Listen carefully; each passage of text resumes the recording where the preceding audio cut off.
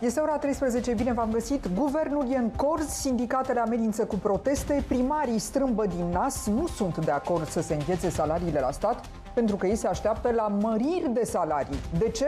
Pentru că au legea de partea lor. Curtea Constituțională, acum două luni, a dat undă verde creșterii salariilor primarilor.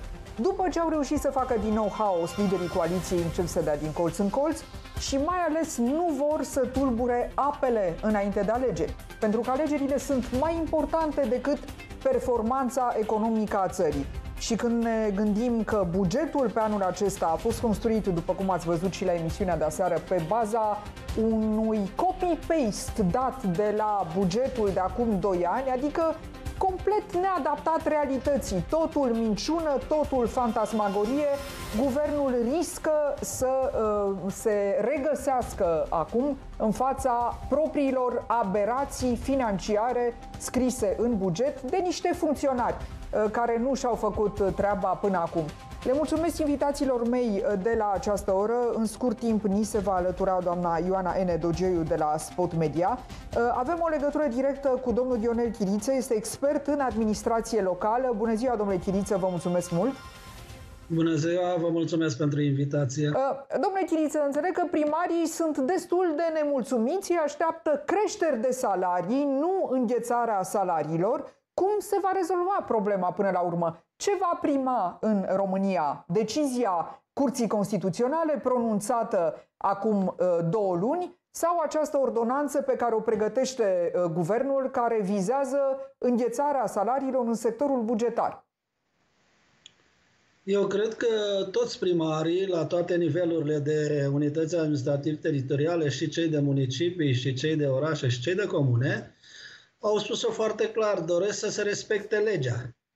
Deci noi am dat, uh, uh, România a dat o lege de salarizare în 2017 pe care la șase luni de la uh, aplicarea ei deja a început să o modifice în tot felul de intervenții abuzive. Prin urmare, lucrurile trebuie să se desfășoare în respectarea legislației nu numai de către primar sau de către alte instituții sau de către cetățean, Uh, responsabilitatea este la fel de mare și obligația este la fel și pentru instituțiile din administrația centrală. Uh, da, uh, deci... ni s-a alăturat și doamna Ioana Nedogiu. Bună ziua, mulțumesc mult pentru intervenția dumneavoastră. Bună ziua! Doamna Dogiu, în această dimineață liderii coaliției s-au reunit cumva trebuie să o scoată la capăt pentru că s-au mulțit uh, uh, protestele, amenințările cu proteste. Pentru moment nu protestează nimeni. Sindicatele, uh, iată, cei din administrația locală se arată împotriva acestui proiect de ordonanță care vizează înghețarea salariilor și suspendarea angajărilor la stat.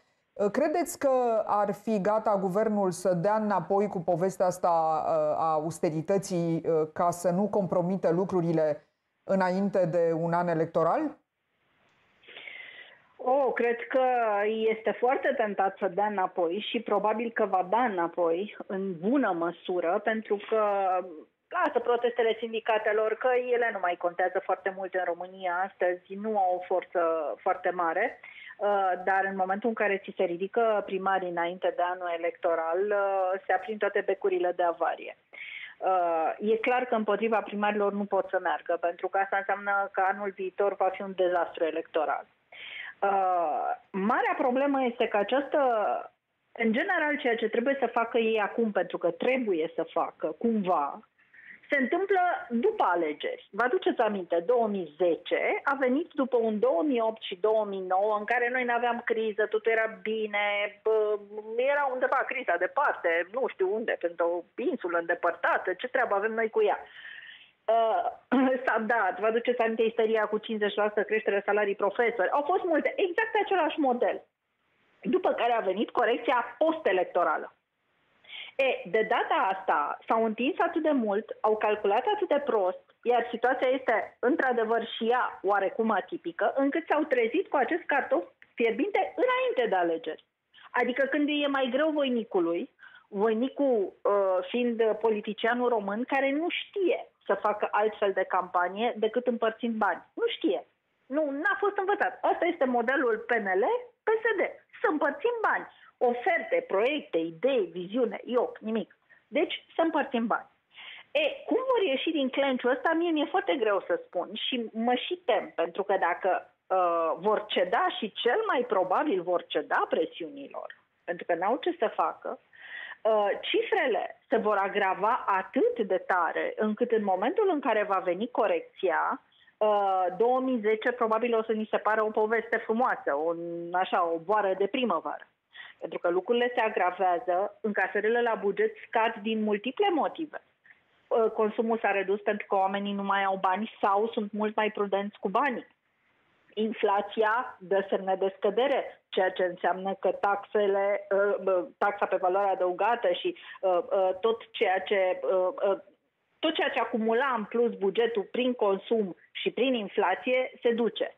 Și atunci firmele se închid, multe dintre ele, pentru că nu mai fac față, inclusiv din cauza scăderii consumului, intri într-un cerc vicios. Ori banii aceștia care nu mai vin trebuie luați de undeva. De unde? Din împrumuturi, clar. Și atunci uh, uh, deficitele se duc la cer, ai probleme și pe partea europeană. PNRR-ul dă semne că va fi sacrificat, avem niște bani pe care îi pierdem din plata a doua, se pare. Lasă plata a treia care vine cu pensiile speciale și care se anunță un alt dezastru. Banii ăștia erau, se conta pe ei la buget deci nu știu pe unde vor scoate cămașa, sincer, habar nu am, cred că habar nu au nici ei, de un singur lucru și sunt siguri, că este înainte de alegeri și nu e după. Asta e marea problemă care cred că îi macină în momentul ăsta. Ni s-a alăturat și domnul avocat Adrian Toninacșu, este fost membru al CSM. Bună ziua, domnule Nacșu, vă mulțumesc mult pentru intervenție. Aceeași întrebare vă adresez și dumneavoastră. Uh, primarii așteaptă măriri de salarii pentru că uh, în luna februarie uh, Curtea Constituțională a spus că sunt legale aceste măriri de salarii. Deci ei au primit practic speranțe și undă verde de la Curtea Constituțională a României. Acum se vorbește despre o înghețare a salariilor, motiv pentru primar să fie nemulțumiți. Vreau să vă întreb din punct de vedere legal. Ce va prima în România? Aceeași întrebare și pentru dumneavoastră. Ordonanța asta pe care o pregătește guvernul sau decizia CCR de la sfârșitul lunii februarie? Uh, bun, din punct de vedere juridic lucrurile sunt uh, destul de simple, dar înainte de asta aș pleca de la realitatea că în acest proiect de ordonanță de urgență nu se vorbește de înghețarea salariilor. Uh, nu știu dacă va suferi vreo modificare față de cea care, mă rog, circulă în momentul de față și pe care o cunoaștem cu toții, vine chiar de la Guvernul României, este vorba de o plafonare a fondului de salarii, care e cu totul altceva decât plafonarea salariului efectiv, adică a indemnizației brute de care într-o formă sau alta. Asta sub un aspect. Uh, în ce privește Uh, al doilea aspect legat de acea decizie a Curții Constituționale, între timp, legea a intrat în vigoare. Uh-huh. Este o lege care a fost publicată în monitor oficial în 18 aprilie, a intrat în vigoare, potrivit legii, în 21 aprilie, astfel încât 21 în acest adică moment, acum patru zile. Exact, acum două, trei zile sau patru zile. Deci primarii în vor acest primi moment, salarii mai mari? Din punct de vedere juridic, de drept, s-a majorat cuantumul brut al indemnizațiilor calculate persoanelor prevăzute în această lege. E vorba de uh, primari în cazul de față. Uh, o ordonanță de urgență care va e veni incredibil. Deci, ulterior. Deci, într-o țară în care se bate toba austerității, intră deja în vigoare legi uh, care uh, dau undă verde creșterii de salarii, adică e foarte schizoidă toată situația asta. Da, aș face totuși precizarea că, repet, în, în discuție nu este înghețarea salariilor. O spunem noi așa, este vorba de o plafonare a fondului de salarii, adică a învelopei salariale pe care o instituție sau o autoritate o are uh, pe parcursul unui, unui an de zile. Domnule Neașu, de undeva până la urmă vor trebui să taie. deloc cu Da. creșterea cuantumului brut al indemnizației lunare ca urmare a intrării în vigoare a acestei legi, care practic asta stabilește. Profit pentru de anumite prezența categorii. dumneavoastră să vă mai întreb ceva. În emisiunea de aseară, un profesor de economie, membru al PNL, domnul Stamule, spunea că în cazul indemnizației uh, nu se poate uh, lua în calcul um, o alegere între um, uh, indemnizație și pensie. Domnul Ciucă, de exemplu, ne spunea domnul Stamule, primește în calitate de premier indemnizație. Să spuneți că primarii au indemnizație, parlamentarii au indemnizație. Păi, așa deci ei pot să cumuleze uh, pensia și venitul salarial numit indemnizație? Da sau nu? Iarăși o să fac referire la acest proiect de ordonanță de urgență pe care l-am făcut și care face referire expresă la orice autoritate publică uh, în care se găsesc persoane care cumulează uh, pensia cu salariu. Deci nu există o astfel de derogare legată de modalitatea în care este salarizată persoana respectivă.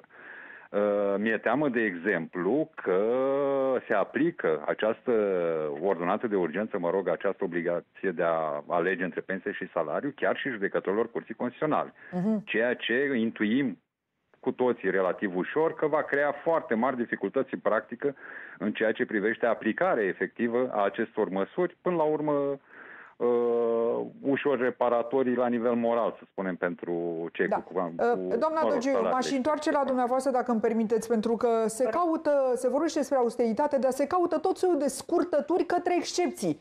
Uh, vă spuneam, ieri erau membrii ei PNL care spuneau, stați domnule, că domnul Ciucă nu va avea de ales până la urmă, că domnul Ciucă primește indemnizație. Păi da, se caută tot felul de uh, excepții pentru că încercăm să salvăm ce se poate salva, să enervăm cât mai puțină lume, să scoatem cămașa cumva. Pentru că situația este dramatică în acest moment, uh, din toate punctele de vedere. Oricum o privim, și economic, și juridic, uh, și politic, și electoral, și din toate... Singura ieșire pe care ar putea să o aibă, dar la care văd că nu recurg inclusiv pentru că înțeleg că nu vrea domnul Iohannis, ar fi să grăbească alegerile uh, parlamentare, să le facă cumva anul ăsta în toamnă, să mai lungească un pic uh, chestiunea asta până în toamnă și după ce se văd măcar cu sacii parlamentari în căruțe și cu parlamentul ales, să ia măsurile care trebuie luate, pentru că altfel e ca o boală pe care o lași să se agraveze.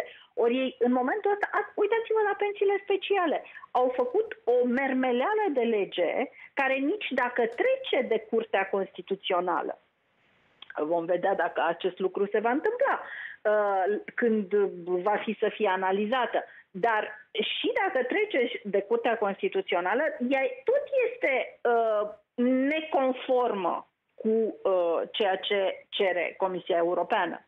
Deci nu rezolvă nimic. Nu încearcă să cârpească pe aici, pe acolo, să o ia pe scurtături, uh, să facă o uh, mică, uh, un praf în ochi, doar, doar ține. Dacă nu ține, mai vedem, mai negociem, ne mai împrietenim, ne mai...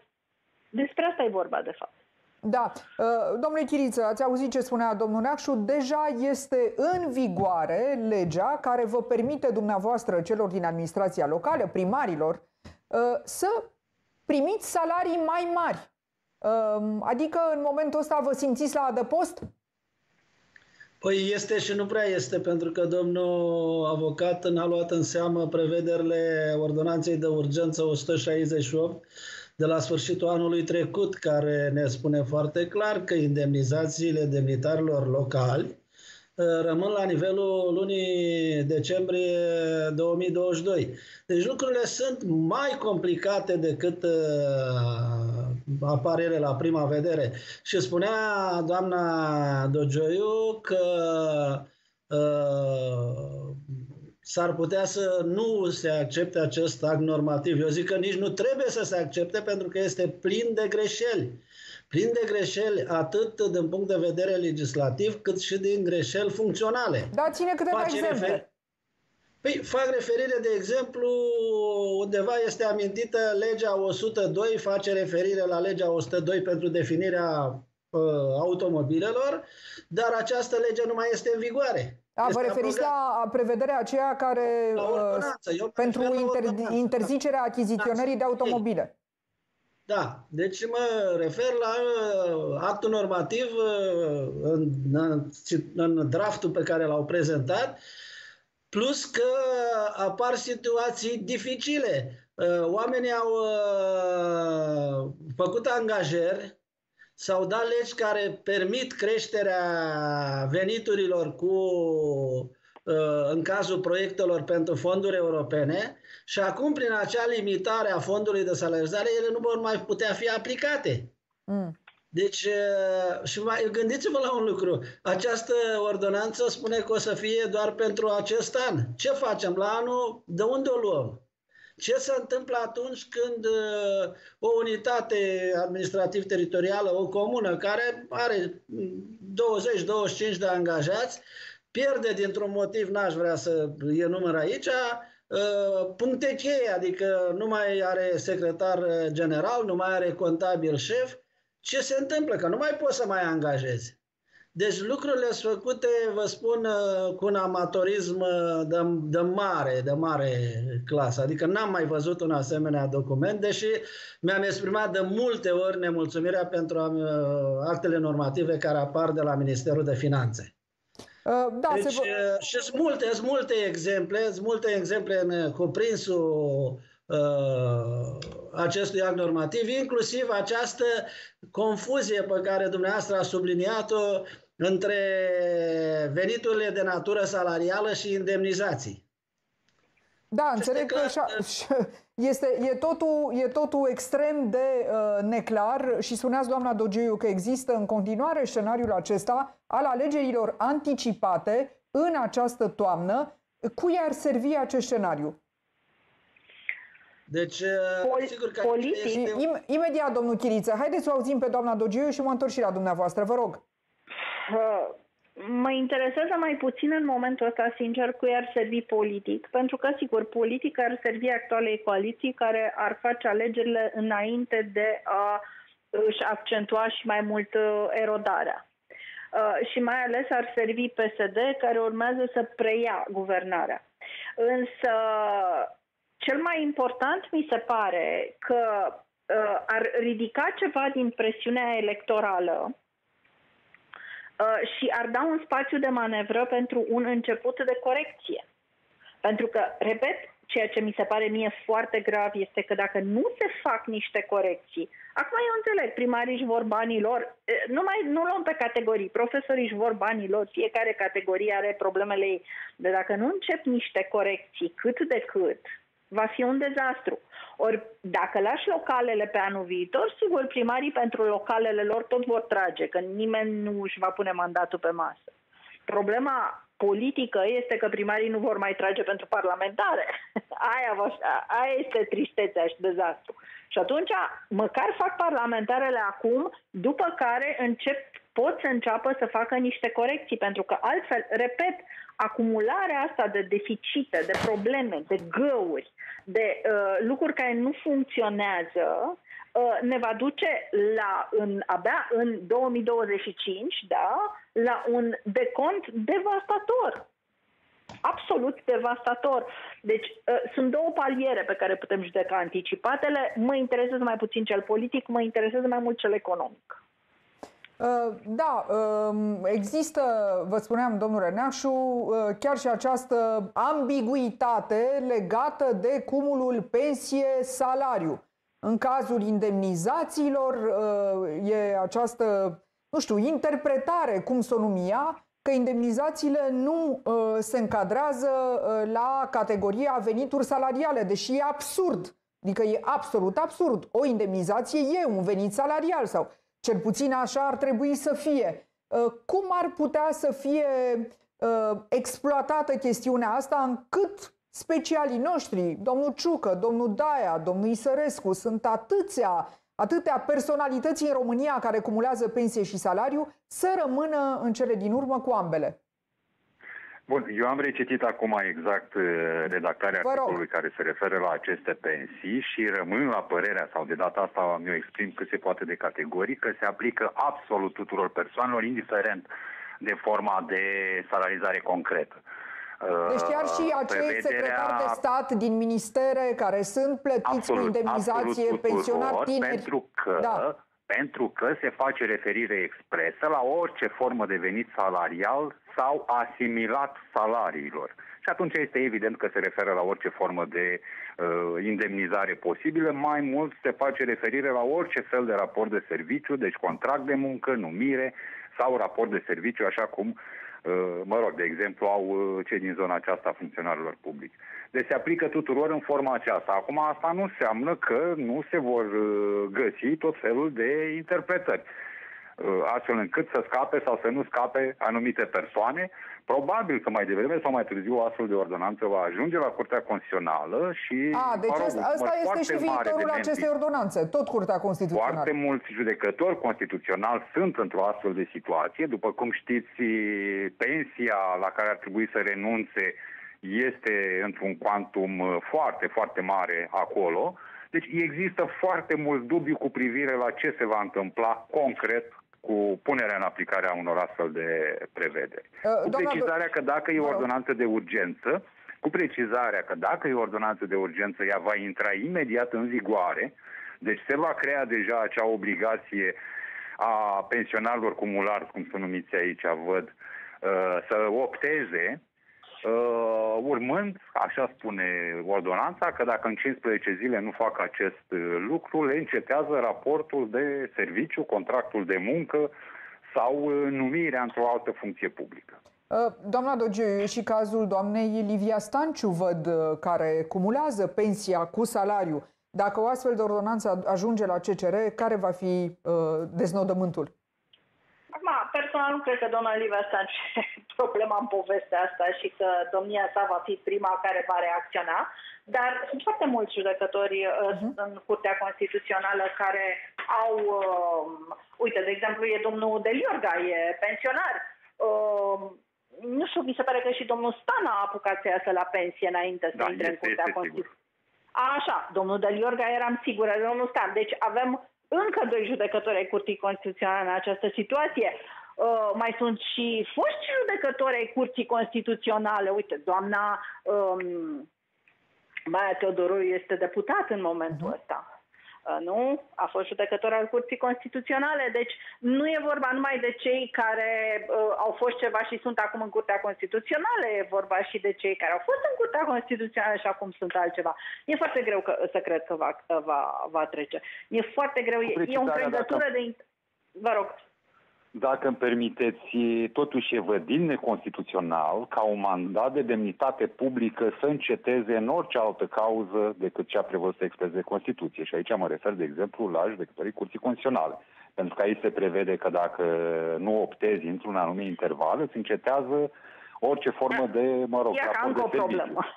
Ceea deci ce în cazul, de exemplu, al deputaților nu cred că este admisibil dat fiind statutul constituțional al acestora, au un mandat pe o anumită durată care nu poate fi atins.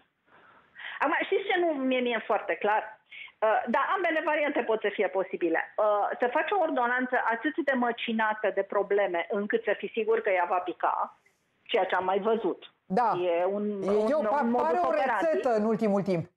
Sau, și n-aș exclude nici varianta asta, incompetența la nivelul uh, vârfului statului a ajuns atât de mare încât efectiv dau din oală în oală, din castron în castron, uh, din gard în gard. Pentru că ambele, repet, nici nu știu pe care să o prioritizez. Pentru că uh. totul este împănat cu clienți cărora nu putem să le luăm. Aici, că totul se întoarce până la urmă și la clientelism. Tot felul de beneficii care acum ar trebui tăiate sunt beneficii Uh, pentru foarte mulți clienți politici. Și nu mă refer aici la profesori, să ne înțelegem, și la medici. Mă refer la tot felul de aparate funcționărești că, care căpușează, care sunt adăugate, care sunt uh, uh puse, la, ia fel și la pensiile speciale tot felul de clienți care au fost adăugați în categoriile pensiilor speciale și de care acum nu mai poți să scapi, că ai nevoie de ei și tot așa. Ei, toți ăștia formează un aparat incompetent, clientelar, care iată ce produce.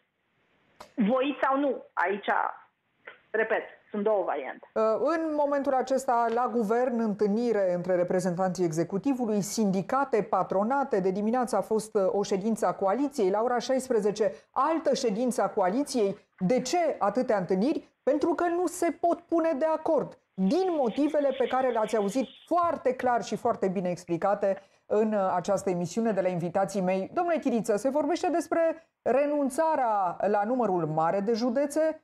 Se pare că pot exista și 15 județe, nu 41. Aceasta este propunerea Camerei de Comerț și Industrie uh, a României. Care e opinia dumneavoastră? Ne îndreptăm către uh, uh, o, o astfel de configurație, uh, o Românie cu 15 județe? Bine, asta nu se va întâmpla anul ăsta. Uh, probabil nici la anul că sunt alegeri. Când se va întâmpla?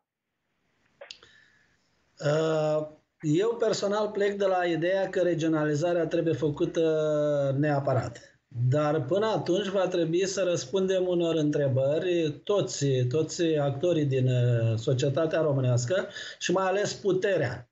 De ce trebuie să facă regionalizarea? Și repet, eu personal cred că trebuie să o facem Trebuie să vedem cine vrea și cine nu vrea această regionalizare și să găsim mijloace, să-i chemăm la aceeași masă, nu să-i eliminăm din discuție, că asta nu va duce la nimic uh, bun.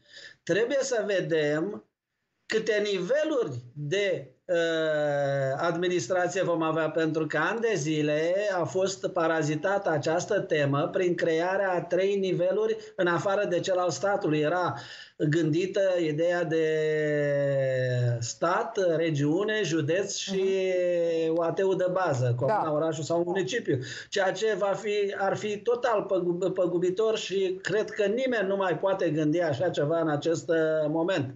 Va trebui să vedem ce atribuții dăm noilor județe, pentru că și eu spun de aproape 20 de ani această opțiune, de a nu merge la referendum pentru modificarea Constituției și de a reduce numărul de, de județe și păstrarea denumirii UAT-ului de, de județ. Și fără doar și poate, trebuie să ne gândim, există modele europene. Uh, sunt mai multe modele care ar putea fi folosite. Eu personal merg uh, pe modelul danez de total succes.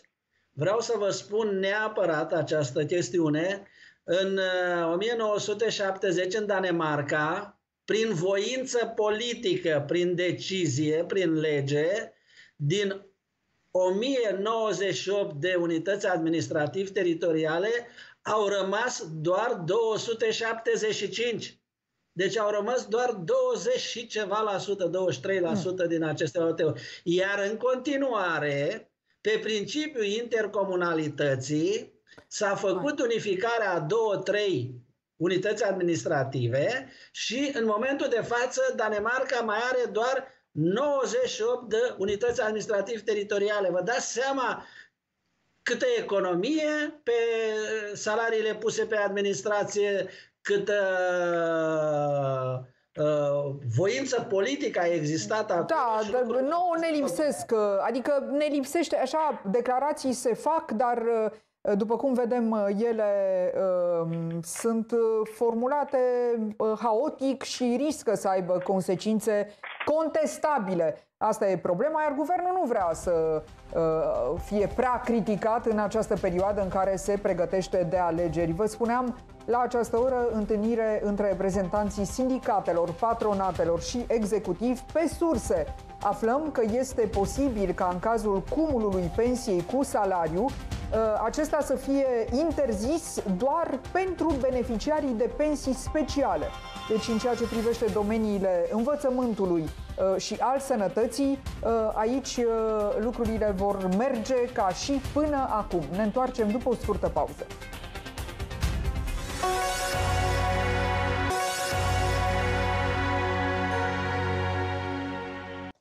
Atac cu ciocanul asupra unei mașini de poliție, un Duster făcut praf.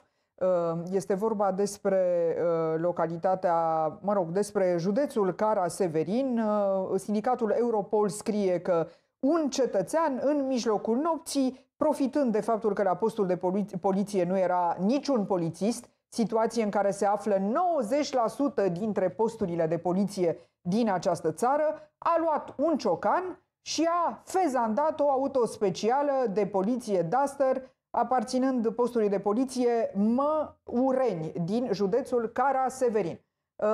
Așa arată mașina atacată de cetățeanul respectiv cu ciocanul. Avem o legătură telefonică directă cu domnul Cristian, uh, domnul Andreica de la Europol. Bună ziua, domnule Andreica, domnul Cosmin Andreica, mulțumesc mult pentru intervenție.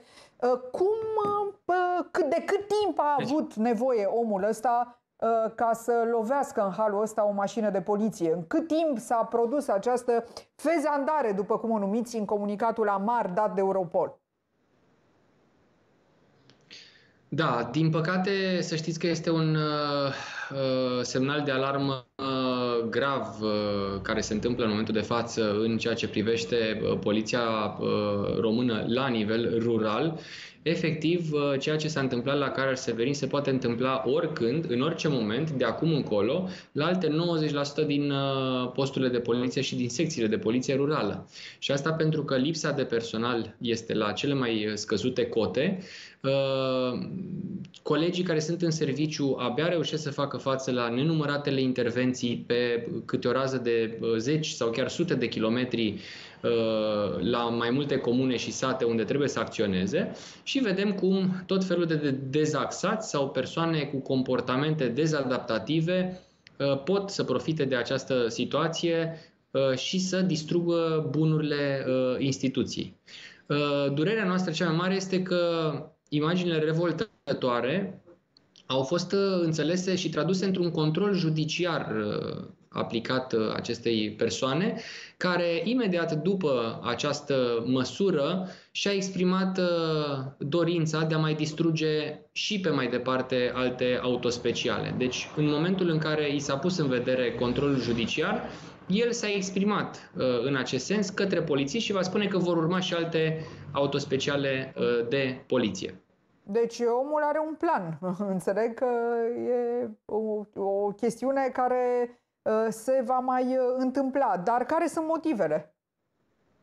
Într-adevăr, am, înțeles, am încercat și noi să aflăm care sunt uh, motivele gestului său. Nu am reușit să identificăm, nu are antecedente penale, nu a fost, nu a făcut obiectul, știu eu, aplicării legii de către polițiști ca să existe oarecum o dorință de răzbunare, dacă doriți. Cred că este doar vorba despre un comportament deviant, netratat tratat, dacă vreți, pentru că în societate avem sute de mii de astfel de persoane care circulă libere și care, din păcate, uh, au nevoie de uh, tratament de specialitate, însă știm cu toții că tot ceea ce înseamnă uh, bolnavi psihic și persoane care sunt în, în stări de depresie sau care ar avea nevoie de, de tratament specializat, Uh, sunt necunoscute dacă nu ajung în fața medicilor specialiști și cred că și în cazul de față uh, tot despre o astfel de, de persoană ar fi vorba. Uh, ne-a atras atenția și o altă mașină de poliție, de această dată unul dintre acele BMW-uri ultra-performante achiziționate de Ministerul de Interne într-o perioadă de criză, ca să o numim așa. Ei bine, faptul că vorbim despre un bolid de lux nu înseamnă că Ehm, polițiștii care conduc astfel de mașini sunt feriți de accidente. Ehm, un participant la trafic a intrat în această mașină, ehm, domnule Andreica, și daunele sunt cele pe care le vedem. Deci problema până la urmă a poliției nu era nevoia de a achiziționa astfel de mașini, ci de a pune ordine într-un fel în traficul ăsta din ce în ce mai extravagant, ca să-l numim așa.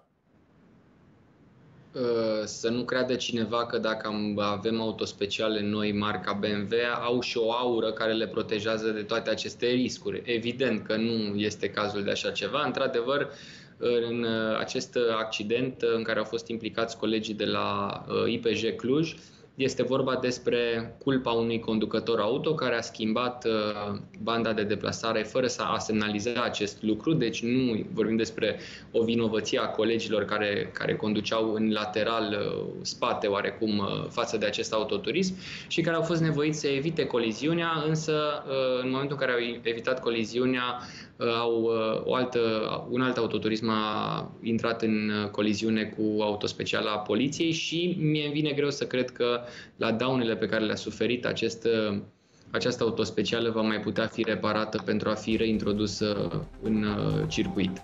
Păi nu-i nimic, se cumpără altele, probabil că uh, vorba aceea uh, ne permite. Mulțumesc mult, domnule Andreca. Vă rog. Deci, 99, adică să, dacă avem câte una pe săptămână, un accident pe săptămână, rămânem fără mașini până la finalul anului. Mulțumesc mult pentru intervenția dumneavoastră. Uh, aflăm că este foarte posibil uh, să plătim taxe noi, nu doar posibil, dar uh, suntem aproape de o decizie în București. E vorba despre taxe și impozite locale care se majorează cu 13,8% de anul viitor. Vedeți, atunci când ne întrebăm de unde face rost uh, guvernul de bani uh, pentru a acoperi găurile acestea Uh, în condițiile în care toate propunerile de economii uh, se dovedesc a fi contestabile, de aici face rost guvernul de bani, din mărirea de taxe, pentru că taxele nu trebuie neapărat să se majoreze de la nivel guvernamental, se pot majora și la nivel local. Iată, în București, taxele și impozitele locale vor crește cu 13,8% de anul viitor. Despre toate aceste lovituri date bugetului românilor de la ora 14.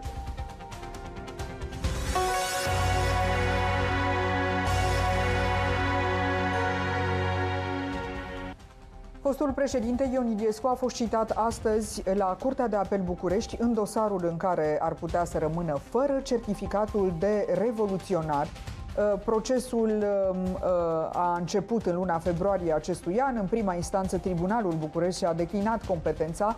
Este un subiect despre care vom vorbi. Curtea de apel a fost astăzi în atenția jurnaliștilor pentru că a făcut obiectul unei amenințări cu bombă. Ne întoarcem la uh, acest subiect dar și la altele de la ora 14.